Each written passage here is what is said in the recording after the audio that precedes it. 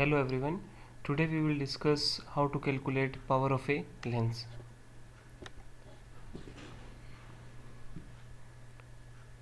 The formula we use to calculate power of a lens is P is equal to 1 by F. F here is focal length of the lens.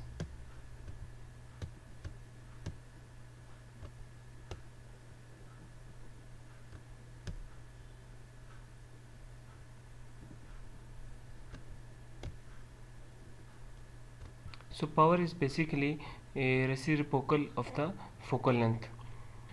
But one thing you must remember when you use this formula the focal length must be in meters.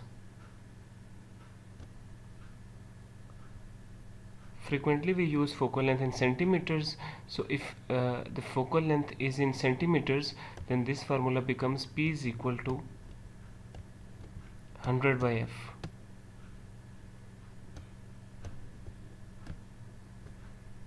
so you should remember both these formulas and apply them according uh, to the unit of the focal length of the lens.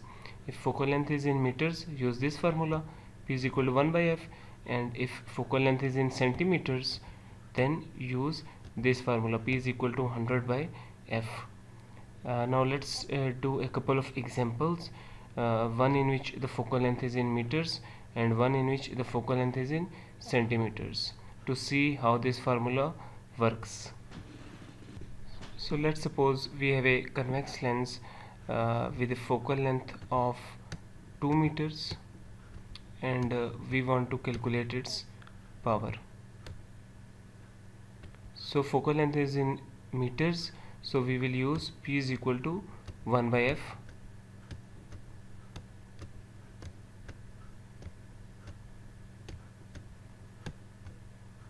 1 divided by 2 will give us 0.5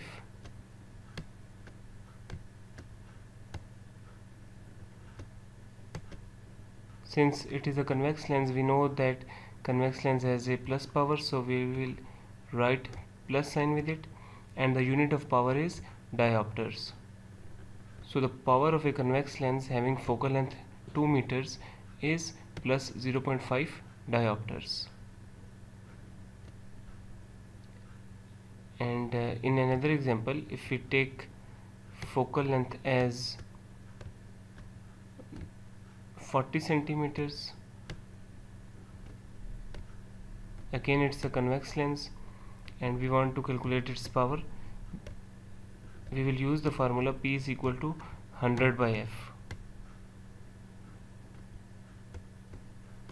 Because here focal length is in centimeters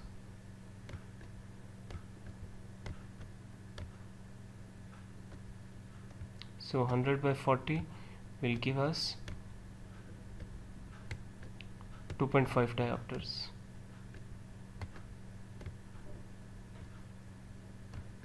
Again it's a convex lens so we will write plus sign with it. So the power of a convex lens having focal length 40 centimeter uh, will be plus 2.5 diopters. In case of concave lenses uh, the procedure is the same. The only difference is that we write a minus sign instead of plus